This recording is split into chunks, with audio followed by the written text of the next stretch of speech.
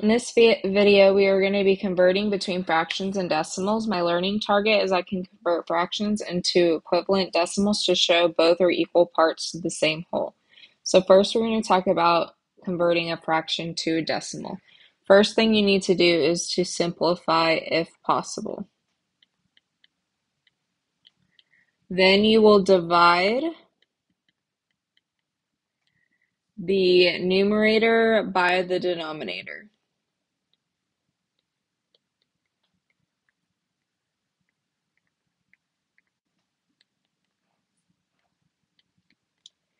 If you are going to convert a decimal to a fraction, the place value of the decimal is the denominator of the fraction.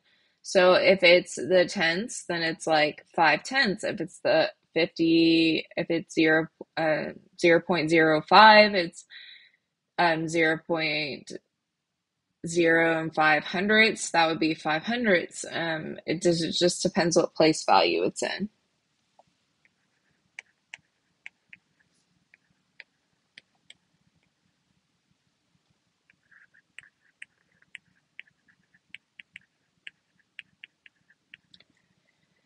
And then the number on the right of the decimal point is the numerator.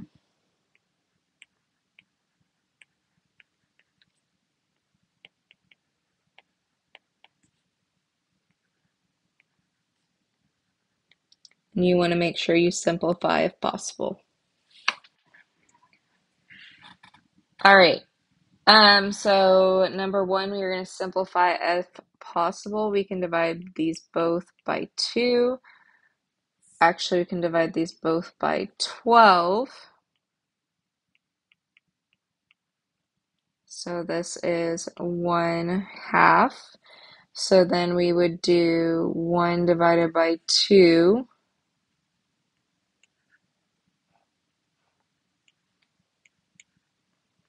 So my decimal is 0 0.5 or 0 and 5 tenths.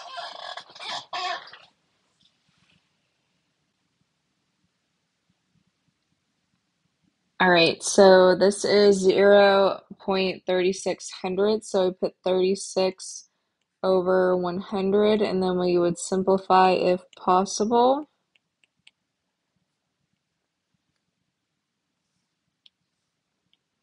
So this is 9 25ths.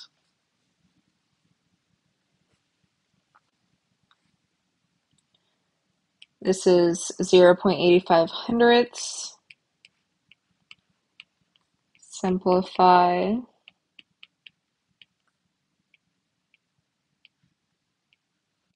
seventeen twentieths.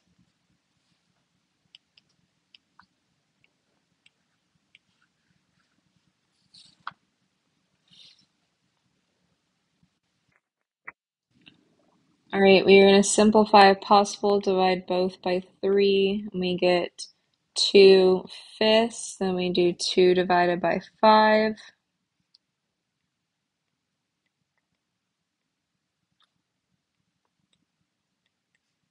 So this is 0 and 4 tenths.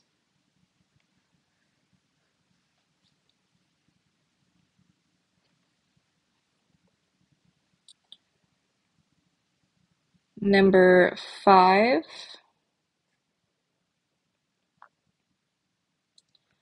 simplify by 5.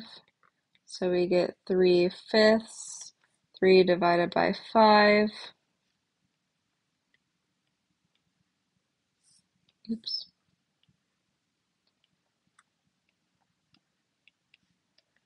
So 0 0.6 tenths.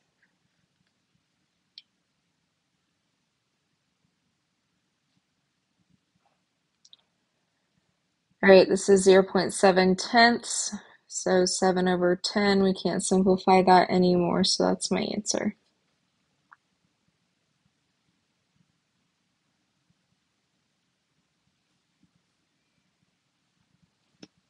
We will simplify these, divide by 4.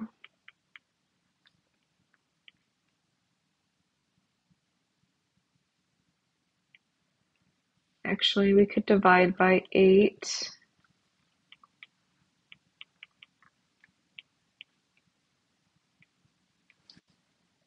And then we would do 1 divided by 3.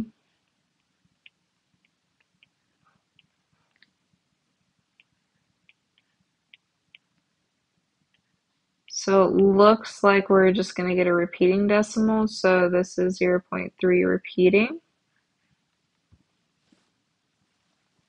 And then number 8, we have 12 one hundredths. And divide by 2. Actually, we can divide by 4.